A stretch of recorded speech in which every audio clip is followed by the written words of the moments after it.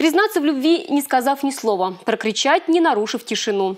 В художественном музее открылась выставка «О чем твоя Россия?». Репортер Республики Анастасия Братцева была уверена, что и сама прекрасно знает ответ на этот вопрос.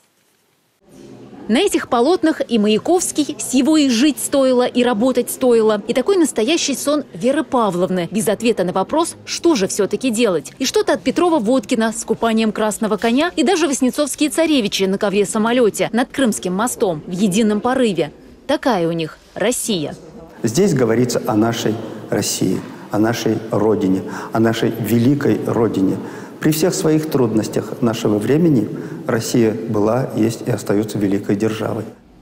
17 беглых взглядов на страну площадью 17 миллионов квадратных километров. Но такие исполненные правды и любви, и чистой веры. В них и есть сила. И пусть кого-то пугающая своим напором и своим неприкрытым патриотизмом. Но кто же скажет, что это не дух какой-то и не захочет заразиться таким вот чувством? Приходишь, действительно насыщаешься всем этим.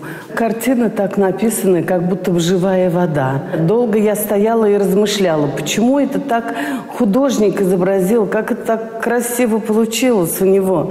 И живая вода, и часовые такие мосты строят, и туманы такие. Ну, конечно, долго стояла, задумывалась.